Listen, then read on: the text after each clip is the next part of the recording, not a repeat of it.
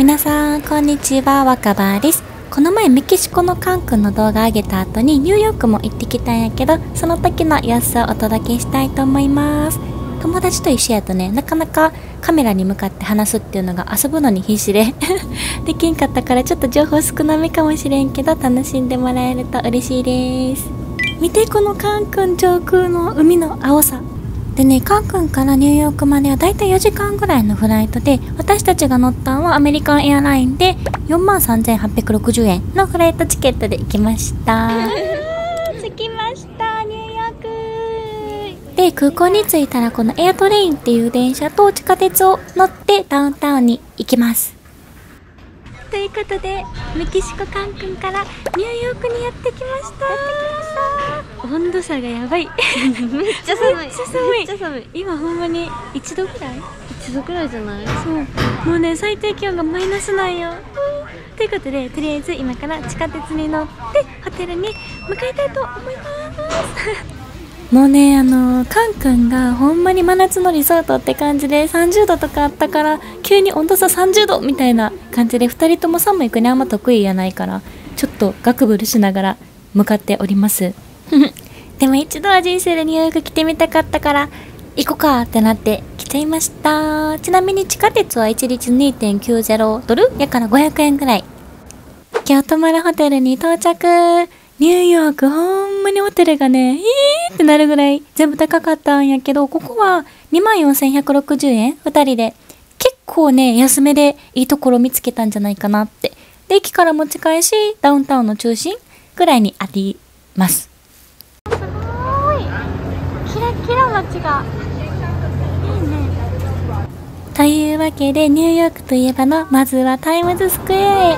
なんかそれ鏡に全部反射してる。ピカピカこれがあの有名なタイムズスクエアですか？えー、なんか360度こんな感じです。わすごっ。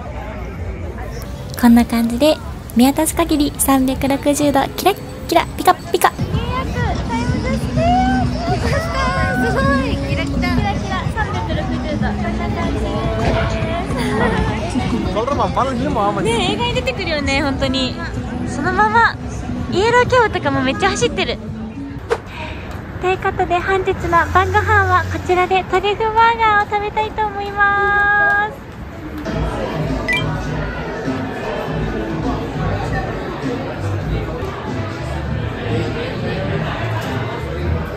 もうこのお肉がジューシーでトリュフが香るハンバーガーがほんまに美味しくって値段はチップ入れて4000円ぐらいとなかなかのお値段ですがぜひ食べてほしい。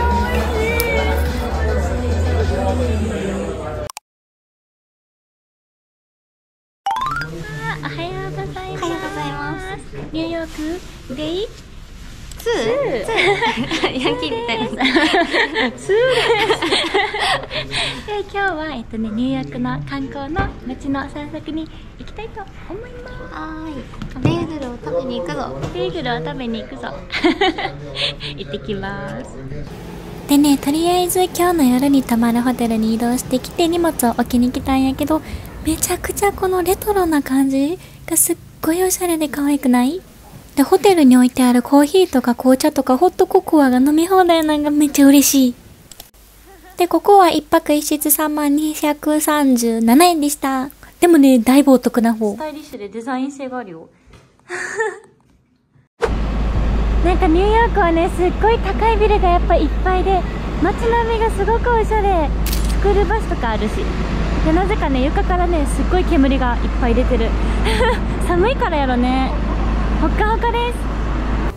で今日お天気もすごいしまずはちょっとお腹が空いたからベーグルで向かってでセントラルパーク行こっかってなってベーグル屋さんにやってきました。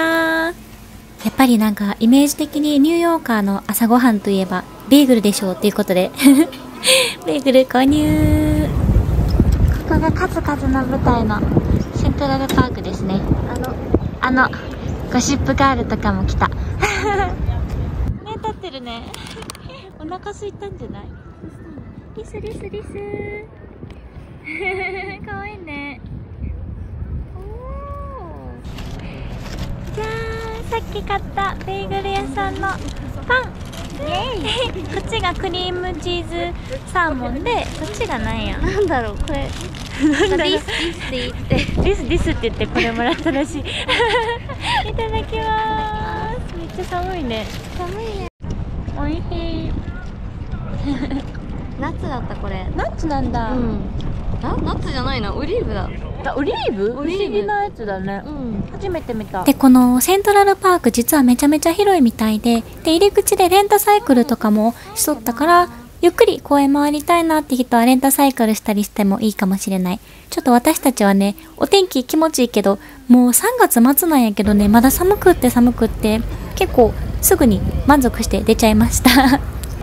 Stop the war! Or your Russia is not Palestine!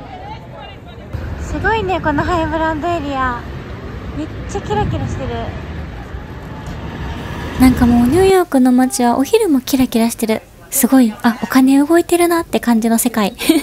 で、ティファニー本店を見つけたから、多分本店かな入ってみたんやけど、こんな感じでね、なんか展示会っぽいのをしてあって、そう、アクセサリー以外にも絵とか、あと食器とかも売っとった。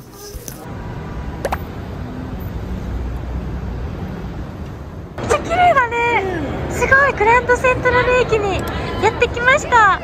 めっちゃ綺麗ね。東京でいう東京駅みたいな感じらしくって。えー、素敵。こんな感じらしいね。で上がさ天井がなんかね獅子獅子座とかいろいろ書いてるかも。えー、綺麗。ここがかの有名なゴシップガールの始まりのワンシーングランド駅。で、ここのグランドセントラル駅から直結にあるサミットっていうね、アートと展望台が掛け合わさったような素敵な場所があるので、そこにやってきました。サミット ということでサミットっていうなんかなんだろう美術館みたいなところにやってきました展望台に上がる前にシューズカバーをして、で、サングラスを借りて上がるみたいで、このサングラスは自前でも OK です。もう、エレベーターがアート。すごくない？ピカピカしてる。ほんで、このエレベーター上がるのがめちゃめちゃ早くって、もう一気に92階までギュイーンと行きます。耳詰まった。そのぐらい早い。えー、すごいあ眩しいうわーすごいこんな感じなんだえめっちゃニューヨークの街一望できるよ。でここのサミットがさすっごいやっぱ全面鏡張りやから反射がすごくてめちゃめちゃ暑い。で眩しいからねサングラス貸してくれるんやけどあの自分のサングラスでも OK でサングラスは必須です。めっちゃ汗かいてきた。でもね絶景が広がっております。人混みがすごい。人人人って感じやね。おしゃれな人がいっぱい。足元もこんな感じで反射しているしこちらの鏡も全面反射しております眩しい でね、ここからはね、あの、有名なエンパイアステートビルディングも見えちゃいます。で、ゴシップガール見てた人はチャックの家やって思ったでしょ。でね、草間彌生さんの作品もなんとこちらでは見ることができます。こちらですね。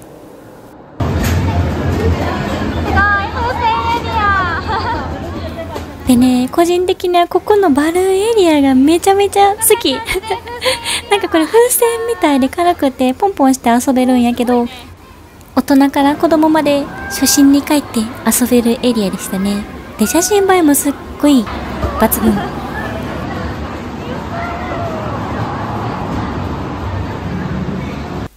で、だんだん夕日が沈んできて、街がね、オレンジのグラデーションになる感じがすっごい素敵なんよ。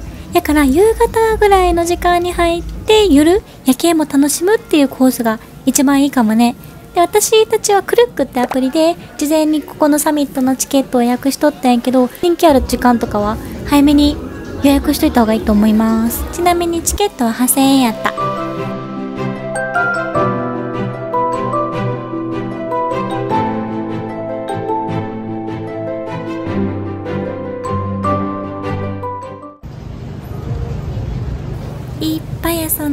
はタイムズスクエア周辺に戻ってきて夜ご飯。ここ99セントって書いてるからさ入ってみて99セントかなって思ったらなんか99セントのピザはなくなっちゃったみたいでこれで1人1000円か1500円ぐらいやった。なんかでもニューヨークおったらねこれが安く感じちゃう。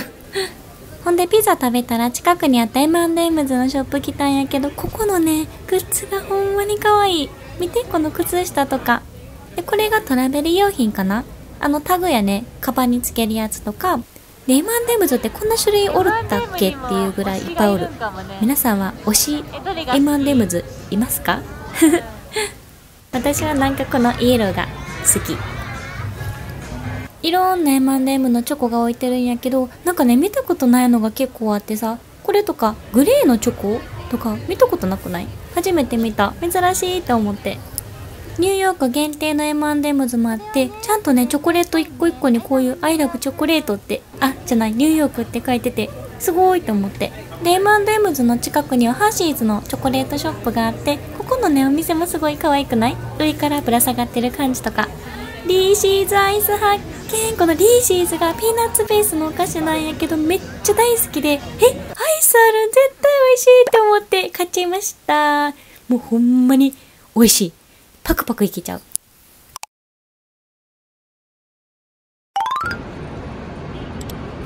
ということであっという間にニューヨークデイ3最終日です。で今日はねあのニューヨークといえばの自由の女神を見に行きます。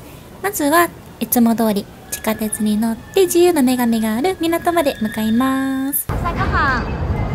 朝ごはん会場。ティーカフェ。お花がすごく可愛い。でここの建物全部がパン屋さんというよりかはなんかいろんなお店がちょこちょこ入ってる中にパン屋さんもあるって感じ。あの鎌倉駅の横にあるお土産屋さんぐらいの規模感の建物でこんな感じでパンとかクッキーとか。あとイースターの時期あったからね見てこのうさぎのケーキ。めっちゃ可愛い。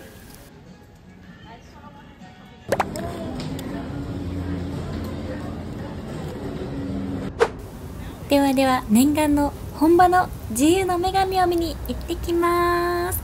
であのこの自由の女神のチケットもあらかじめクルックで予約しとって値段は4500円ぐらいやったかな。もう世界一周の時からねずっと愛用してる。日本語で予約できて QR コードバーコードをその時見せれば入れるっていうすごく楽なのでおすすめです自由の女神見るツアーなんやけどね、こんな感じでブルックリン橋も見に行ってくれるんよ。しかも下までくぐってくれるっていう、なんとも贅沢なコース。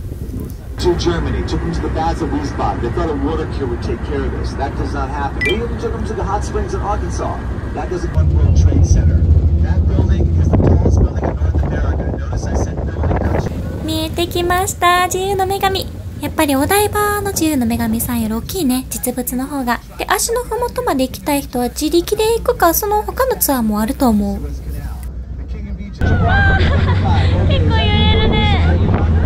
めっちゃ船の上は寒いから防寒をした方がいいと思います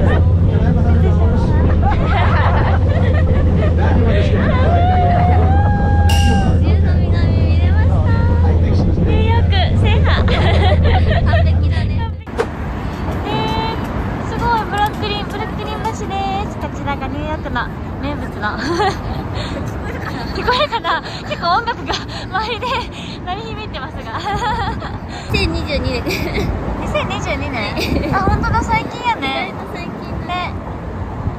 うん恋愛成就の祈願かな。ブルックリン橋を上からも下からも楽しんだ後はここのねカツデリ合戦っていうフォロワーさんが教えてくれたお店なんやけど老舗ですごい美味しいパストラミサンドイッチが食べれるっていうところにやってきました。平日の4時でもこんだけ並ぶぐらいやっぱりすっごい人気店っぽいね中もすっごい賑わっとってでこのカウンターでまずは注文をしてで席に着いて食べるみたい。壁一面にはね著名人の方の写真とかもいっぱい貼っとってほんまに古くから愛されてたんやなーっていうのがわかるお店です。見てください。この美味しそうなお肉。なんか噂によると1ヶ月ぐらい熟成させとるみたいでほんまにね柔らかいんよ。すごいピクルスのでかさが半端ない。ハラミ？パストラミか。パストラミバーガー美味しそう。重厚感わーすごい大きいねすごいね。バスに乗って次のスポットに向かっとったんやけどね。途中ですっごいおしゃれなリザーブのスタバ見つけまして入ってみた。こういうなんか工場みたいな感じのディスプレイが可愛いですね。でニューヨーク限定のマグカップとかもグッズも可愛かった。ということでお目当てのチェルシーマーケット。チェルシーマーケットはねいろんな飲食店であったりちょっとしたお土産屋さんとかが集結してる場所ででもともとお肉の工場が密集してるエリアの跡地かな？をそういう商業施設的な感じに変わったっていうところです。やってきました。ニューヨークチーズケーキを食べたいんですけどあありますか？あ探しましょう。探しましょうなんか赤レンガの雰囲気ですごく可愛らしい雰囲気です。じゃーん。えー、綺麗。すごいキラキラしてるね。ロマンチック。ねえ。キラッキラ。本当お家おしゃれだし。あー住みたい？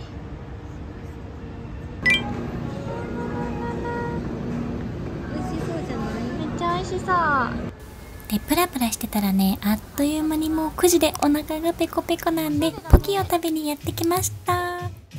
でここのポキ屋さんが面白くって自分でライスとかトッピングの種類選べてより自分好みのポキにできるっていうポキ屋さんやった。でお店がもうすぐ閉まっちゃうとのことでテイクアウトにしてホテルに持って帰って食べたいと思います。結構ね野菜たっぷりにしたんだ。野菜たっぷりにした？ヘルシー。ヘルシ今日の晩ご飯ですヘルシーそうだね。美味しそう。久々のお米。